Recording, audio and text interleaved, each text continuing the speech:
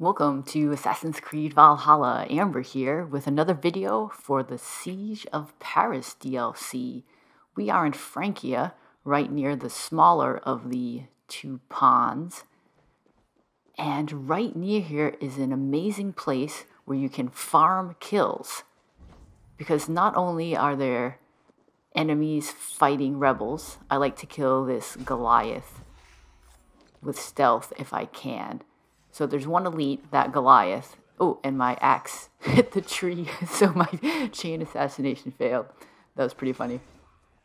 Uh, I actually put the game on easy mode so I could kill these enemies very quickly because the purpose here is to farm kills.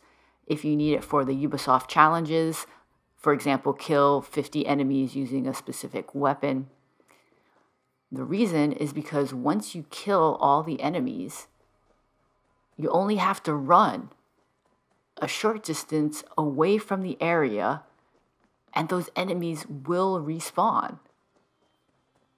So it's a great place to kill, get some kills without having to fast travel around. Oh, and there are some iron here that I'm going to collect.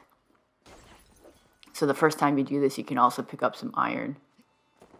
And by the time I get back here to where the rebels and enemies were fighting, the enemies have respawned. That Goliath that I just killed is back. I'm going to kill him first again. I guess I could have enabled the one-shot assassinations, but I don't mind doing that quick time event, so I just leave it. But if you want to make that even easier, you could enable the guaranteed assassinations. I'm using a rune that gives me a chance to set fire to my weapons. And I'm wielding the dual short swords, which you can get in this DLC. And for some reason, sometimes the enemies with the crossbow get in that weird position with their arms out. And it can be hard to tell sometimes who, who are the rebels and who are the Franks, so that's why I'm using Odin's Sight. Oh, and there's one more. Oh, but the rebels killed him for me. They stole my kill. Stole my kill.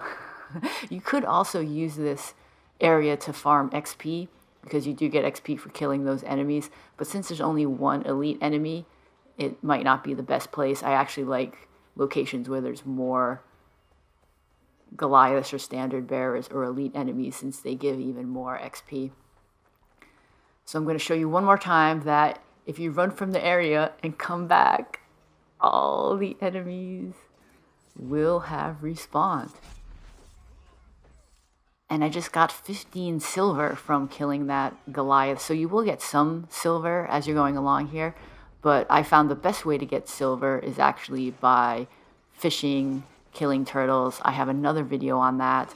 I also have a video about how to get this armor set. This is the Reaper armor set, which you get by doing rebel missions. Have you noticed other places where there are rebels and enemies fighting like this? I want to give a shout out to my subscriber Winfried, who told me about this one. Have you seen any others? Let me know in the comments below. This is Amber. Subscribe to my channel for more guides and gameplay for Assassin's Creed Valhalla.